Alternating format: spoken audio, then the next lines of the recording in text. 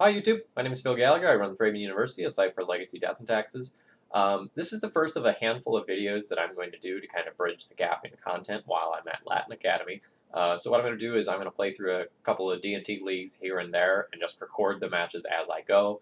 And rather than uploading entire leagues at a time, I'm just going to upload some individual games. So the deck list that I'm going to play here is nothing too exciting. Um, I have my flex slots here in this column for you to take a quick look at. Uh, essentially, I'm trying out a handful of new cards to see how they fare in the current metagame. Um, and by new, I mean like non-traditional, not like brand new Modern Horizon cards or anything.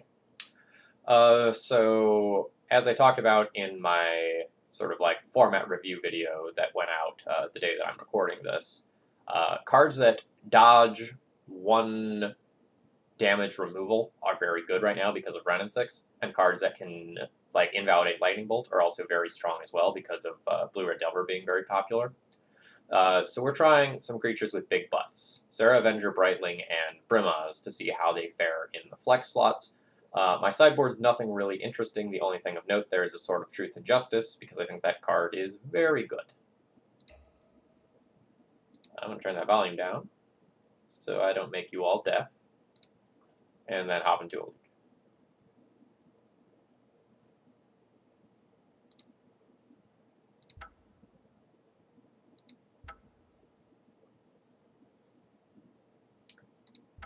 I'm recording right now. I'm not streaming. So if you see me like keep compulsively looking this way, it's to check chat that doesn't exist. Uh, so I apologize for that, but that's probably not a habit that I'm going to break by the end of this video. I should just like minimize this so it's not even there. Alright, uh, I'll be keeping this hand. Uh, it's a little anemic in that we don't have an Aether Vial start and we lack double white for Serra Avenger, but we have three one mana cards and like the Thalia Wasteland plan, so that's probably good enough.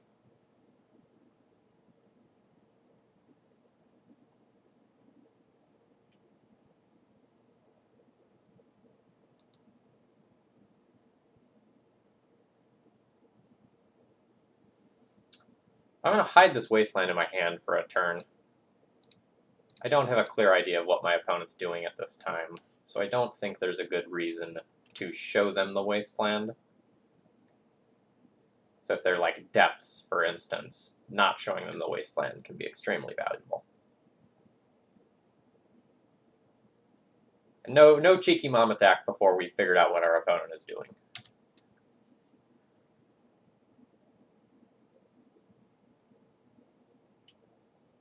My current guess is that they are a blue deck because they didn't just like pass priority through my turn, and they have a lot of stops on. We'll see if that actually ends up being true.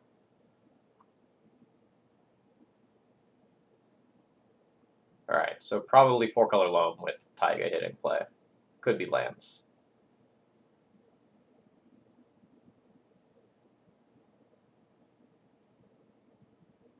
Wastelanding them has value. Porting them has value.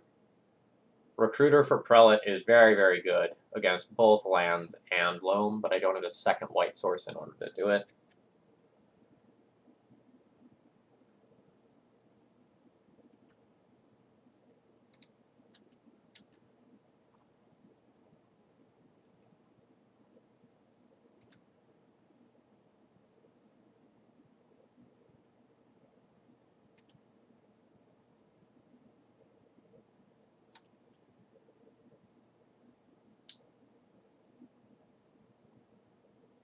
Probably don't need an end of combat stop since I'm not playing loam anymore.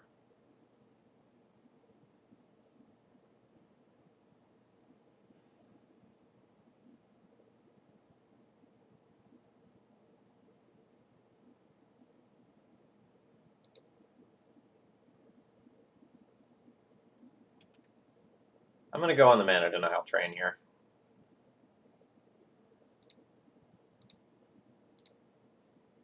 I'm going to go ahead and tap down this Taiga. Alright, my opponent did not float mana. If they're lands, I can wasteland them right now while crop rotation is not a thing. But I don't think I'm going to do that. Like, if lands goes another turn without doing anything, I'm pretty ecstatic at that. Yeah, and if it's loam, there are potentially much better targets to hit later.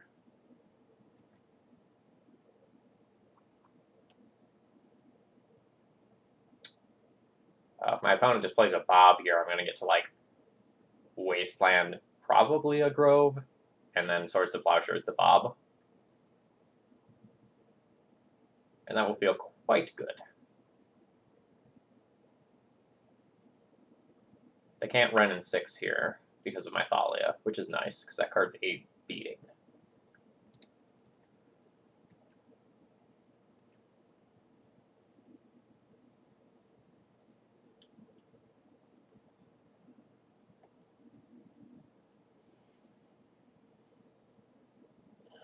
So this is Loam. Loam's not going to have anything at 2 mana at instant speed in the main deck that they can do.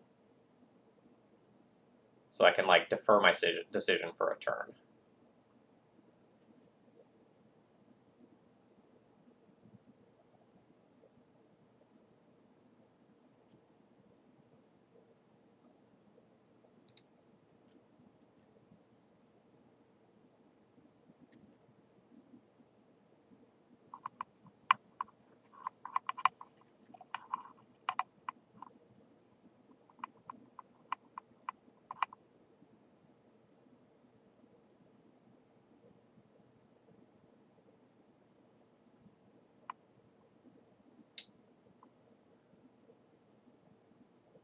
So I think this is a fine time to just take out the Grove. That card gets really annoying as games go long. I know this is not a dangerous card right now, but it can become a dangerous card later. And they weren't able to do anything with like two mana, one of which was black on their previous turn. And so that's probably not going to change on this turn. The only thing that like leaving them with the this land might do is allow them to cast a Knight of the Reliquary.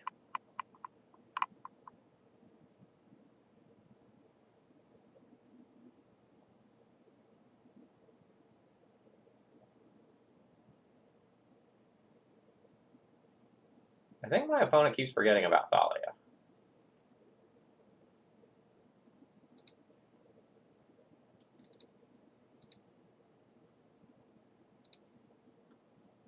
And this is a turn where I'm just going to build up my board and not port them.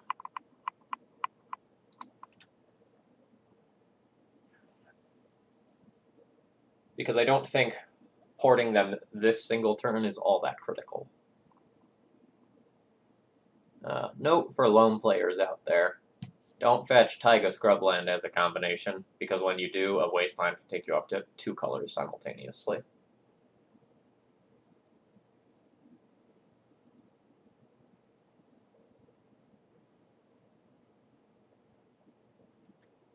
So I'm really hoping to draw a land so that I can probably like Swords to Plowshares the Knight that's likely coming down and port as well.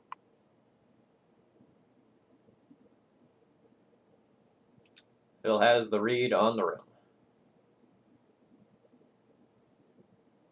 Ah, he's done it. He's done it. The crowd goes wild.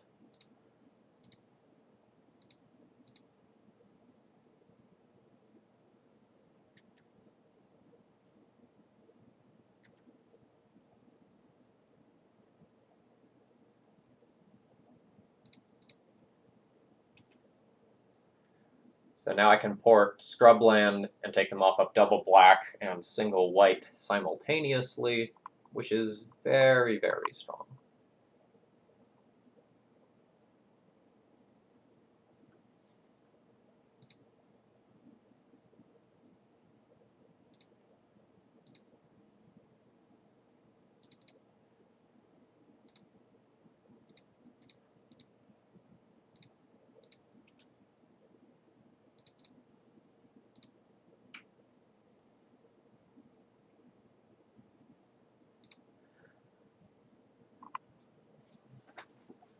I wonder if my opponent is new to Loam.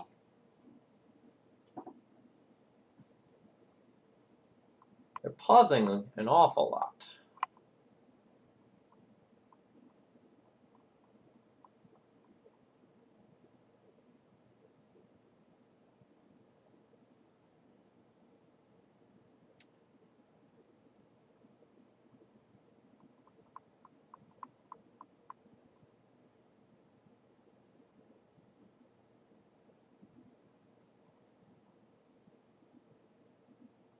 Your abrupt decay costs one more mana.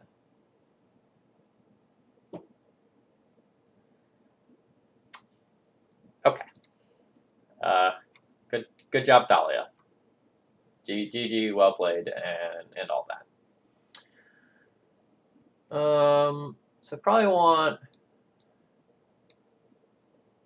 rest in peace, surgical.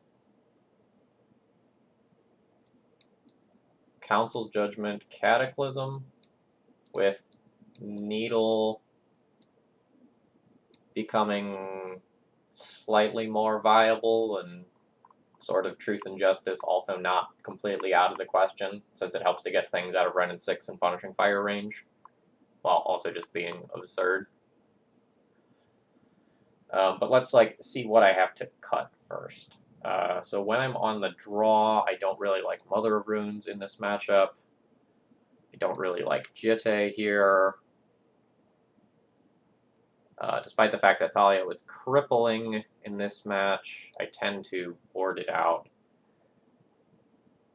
And I often board out Wisp, a Wisp. That would give me enough to slot two needles in.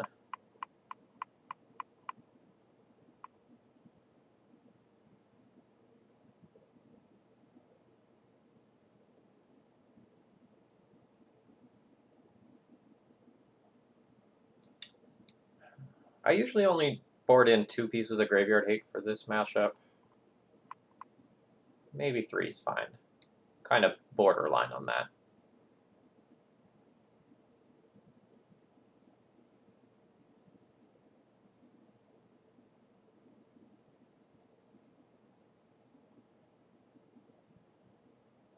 I think I'm going to submit like this.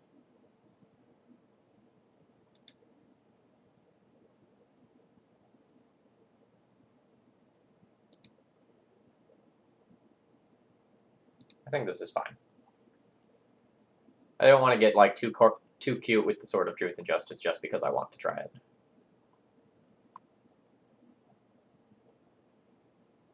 Our opening hand is solid. Not incredible, but solid. And our opponent has mulligan to boot. Our opponent has mulligan twice to boot.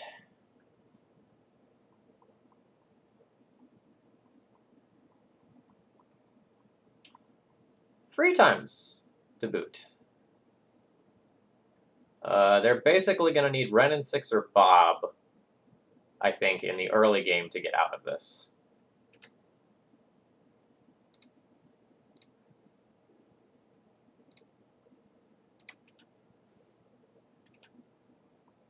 I wonder if our opponent just, like, fully gave up hope after the last game. You have Sylvan Library? Uh, you have a Chalice of the Void, which you've cast for zero. You have now shut off your Moxen. And there is the shame concession. Well, we we take those wins, folks. we we take those wins.